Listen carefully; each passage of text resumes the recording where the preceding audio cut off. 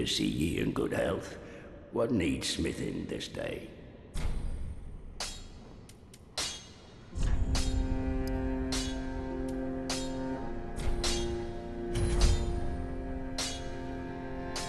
Prithee, be careful.